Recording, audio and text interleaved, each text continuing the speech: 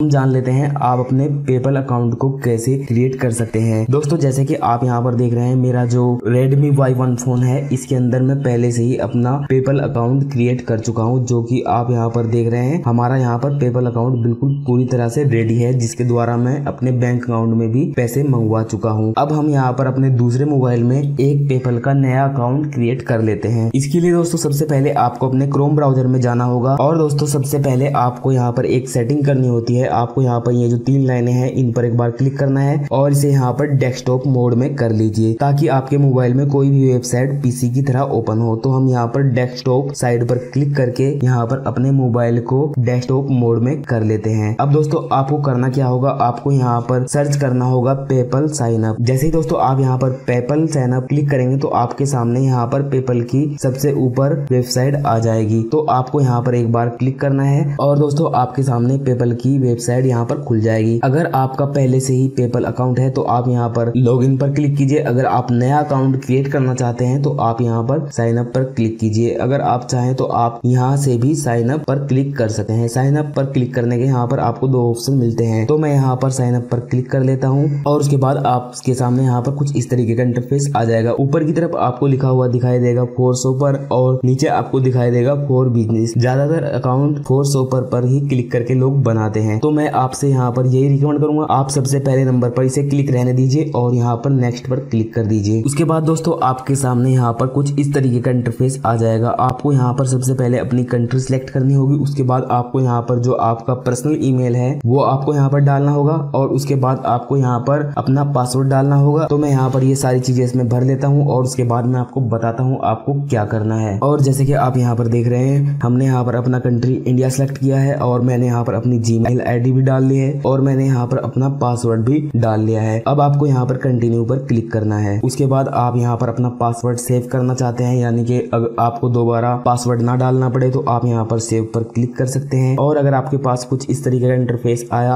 I am note robot तो आप यहाँ पर एक बार क्लिक कर दीजिए। और दोस्तों, उसके बाद आपके सामने यहाँ पर कुछ इस तरीके का इंटरफेस आ जाएगा। यहाँ पर आपको अपनी पूरी डिटेल भरनी है। यहाँ पर आपको अपना नाम डालना है मोबाइल नंबर डालना है लास्ट नेम डालना है और आपको यहाँ पर अपना डेट ऑफ़ बर्थ डालना है और यहाँ पर आपको अपनी कंट्री सिलेक्ट करनी है। यहाँ पर आपको अपना एड्रेस डालना है और आपको यहाँ पर अपनी सिटी डालना है। आप जहाँ पर रहते हैं, कौन सी सिटी है? और आपको अपना स्टेट डालना है। आप कौन से स्टेट में है? और आपको अपना पिन कोड डालना है और आपको अपना मोबाइल नंबर डालना है। अब दोस्तों, मैं यहाँ पर इस फॉर्म को पहले ठीक से भर लेता हूँ। उसके बाद मैं आपको बताता हूँ आपको क्या करना है। और आपको यहाँ पर एक बात का और ध्यान रखना होगा। मिडिल नेम में आपको यहाँ पर वो नाम डालना है, जो कि आपके पैन कार्ड में नाम है। आपको यहाँ पर वही नाम डालना है, जो कि आपके पैन कार्ड में हो। नहीं तो आपका पेपल अकाउंट ठीक से काम नहीं करेगा। इसलिए दोस्तों, इस बात का खास ध्यान रखें। आप यहाँ पर मिडिल नेम में वही नाम डालें, जो कि आपके पैन कार्ड में हो। तो दोस्तों, जैसे कि आप यहाँ पर देख रहे हैं, मैंने यहाँ पर अपना पूरा फॉर्म भर लिया है और उसके बाद आपको यहाँ पर एक बार क्लिक करना है। यानी कि आपको यहाँ पर एक बार चेक मार्क कर देना है और उसके बाद आपको यहाँ पर एग्री एंड क्रिएट अकाउंट पर क्लिक कर देना है। उसके बाद दोस्तों, आपके सामने यहाँ पर कुछ इस तरीके का इंटरफेस आ जाएगा। अगर आपके पास क्रेडिट कार्ड है तो आप यहाँ पर क्रेडिट कार्ड डाल सकते हैं, लेकिन मैं आपकी जानकारी के लिए यहाँ पर ये यह बता दूँ,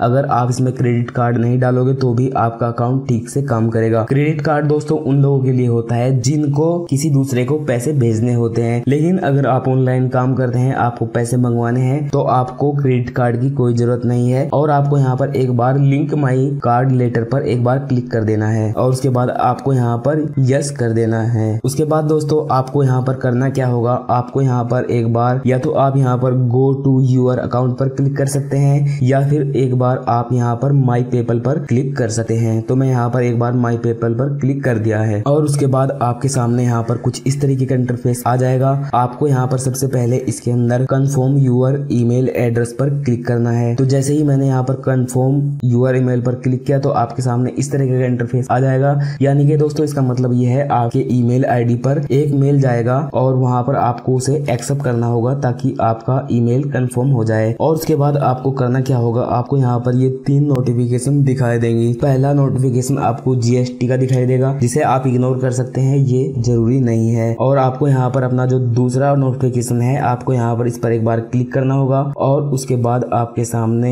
यहाँ पर कुछ इस तरीके का इंटरफेस आ जाएगा। आपको यहाँ पर अपना फ़र्स्ट नेम लास्ट नेम और यहाँ पर आपको जो पैन कार्ड में आपने नाम डाला है वो दिखाई देगा और आपको यहाँ पर अपना पैन कार्ड नंबर डालना है और उसके बाद आपको यहाँ पर इस पर क्लिक करना है और नीचे की तरफ़ आपको यहाँ पर अपना एड्रेस दिखाई देगा आपको यहाँ पर अपना एड्रेस सेट करने के बाद यहाँ पर इसे सबमिट कर देना है और दोस्तों उसके बाद आपको यहाँ पर ये जो आपकी तीसरी नोटिफिकेशन है इस पर एक बार यहाँ पर क्लिक करना है और उसके बाद आपके सामने यहाँ पर कुछ इस तरीके का इंटरफेस आ जाएगा उसके बाद आपको यहाँ पर एग्री गेट स्टार्ट पर क्लिक कर देना है और दोस्तों आपको यहाँ पर इसे अपना आईडी प्रूफ देना है। आपको यहाँ पर डॉक्यूमेंट्स पर टाइप करना है। जैसे आप यहाँ पर टाइप करोगे तो आपको यहाँ पर पैन कार्ड पर क्लिक करना है और आपको यहाँ पर अपनी पैन कार्ड की फ़ोटो खींचने के बाद अपलोड करके इसे सबमिट कर देना है। उसके बाद आपको यहाँ पर इन्हें एड्रेस प्रूफ देना होगा। एड्रेस प्रूफ में दोस्तों आपको यहाँ पर सिलेक्ट डॉक्यूमेंट पर क्लिक करना है और आप यहाँ पर अपना ड्राइविंग लाइसेंस या आधार कार्ड या फिर पासपोर्ट या या फिर आपके पास इन सभी में से कोई सा भी एक डॉक्यूमेंट्स हो, वो आप यहाँ पर सिलेक्ट कर दीजिए। जैसे कि मैंने यहाँ पर आधार कार्ड सिलेक्ट किया तो आप यहाँ पर आधार कार्ड सेलेक्ट कीजिए और उसके बाद यहाँ पर आधार कार्ड की फ़ोटो खींचने के बाद अपलोड कर दीजिए और उसके बाद आपको यहाँ पर प्रूफ बैंक पर क्लिक करना होगा जैसे ही आप यहाँ पर प्रूफ बैंक पर क्लिक करेंगे तो आपको यहाँ पर सिलेक्ट डॉक्यूमेंट पर क्लिक करना है और आप यहाँ पर बैंक स्टेटमेंट पर क्लिक कीजिए और उसके बाद आप यहाँ पर अपनी बैंक की पासबुक का फ़ोटो खींच के अपलोड कर सकते हैं लेकिन आपको यहाँ पर एक बात का और ध्यान रखना है मैक्सिमम टू एम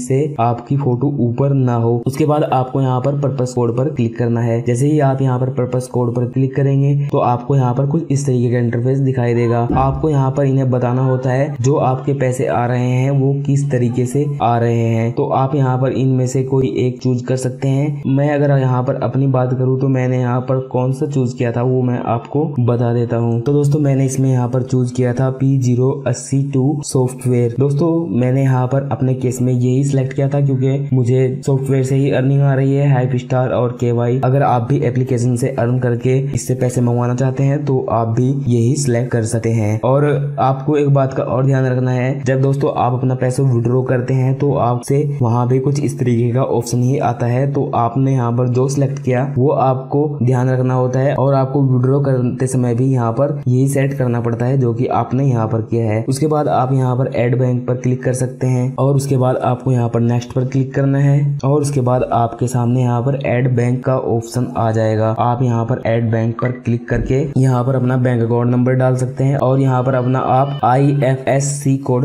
डाल सकते हैं। दोस्तों, आपको यहाँ पर एक बात का और ख्याल रखना होगा। बहुत से लोग एक गलती कर देते हैं जो कि इसमें मैंने भी कर दी थी। यहाँ पर आप अकाउंट नंबर डालने के बाद और आई कोड डालने के बाद तुरंत कंटिन्यू कर देते हैं। लेकिन आपको यहाँ पर अपना बैंक अकाउंट डालने के बाद और आई कोड डालने के बाद यहाँ पर I don't have my C code पर क्लिक करना है और उसके बाद आपके सामने यहाँ पर कुछ इस तरीके का इंटरफेस आ जाता है। आपको यहाँ पर अपना स्टेट सिलेक्ट करना होता है। आपको यहाँ पर अपनी सिटी सिलेक्ट करनी होती है और उसके बाद आपको यहाँ पर अपने ब्रांच की लोकेशन ठीक से सिलेक्ट करनी होती है, जो कि आपकी सही लोकेशन होती है ब्रांच की। आपको यहाँ पर वही सिलेक्ट करनी है और उसके बाद आपको यहाँ पर कंटिन्यू पर क्लिक कर देना है। उसके बाद दोस्तों पेपल आपके अकाउंट में दो छोटी छोटी अमाउंट भेजता है। जैसे कि मैं आपको यहाँ पर अपने दूसरे मोबाइल में दिखा देता हूँ। मैं आपको यहाँ पर बैंक का मैसेज दिखा देता हूँ। तो दोस्तों, मेरे केस में यहाँ पर जैसे कि आप देख रहे हैं, मुझे यहाँ पर पेपल की तरफ़ से छोटी छोटी दो अमाउंट आई थी। आप ठीक से नहीं देख पाएँगे क्योंकि मैंने यहाँ पर इसे ब्लर किया है प्राइवेसी रीजन के कारण।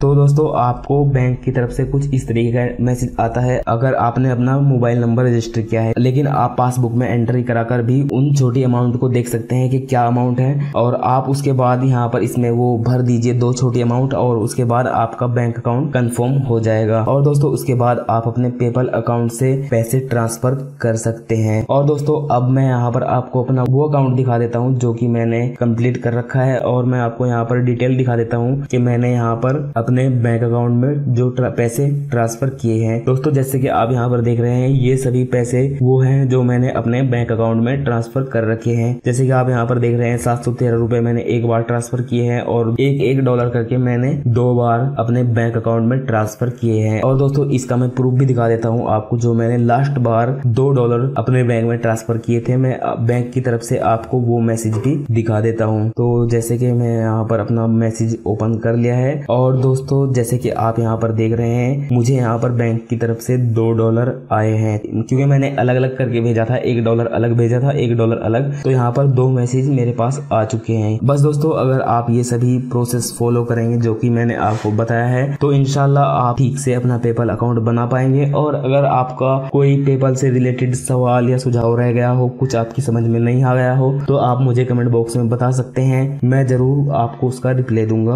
और उस पर दोबारा वीडियो बनाने की कोशिश करूँगा। और अगर आपने अभी इस वीडियो को लाइक नहीं किया है तो इस वीडियो को लाइक भी कर दीजिए। और अगर आप मेरे चैनल पर नए हैं तो चैनल को सब्सक्राइब ज़रूर कर लीजिए हमारी ये वीडियो देखने के लिए। आपका दिल से शुक्रिया।